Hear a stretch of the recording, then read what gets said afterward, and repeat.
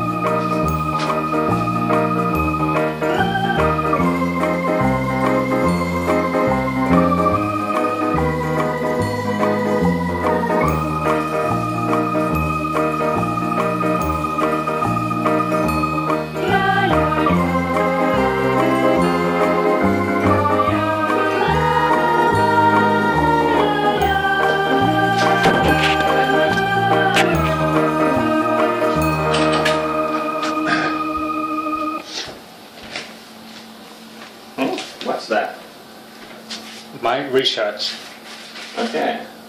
So you can see that this is bed bug and I have recorded like when I drop it inside the trap and it's kind of still able to crawl out of the trap. And again I put I drop the bed bug like inside of this kind of valley but it's still able to grow up. And I record everything and show you in a minute.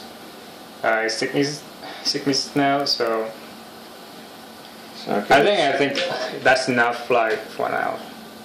Okay, but that proves it. It can get out from there.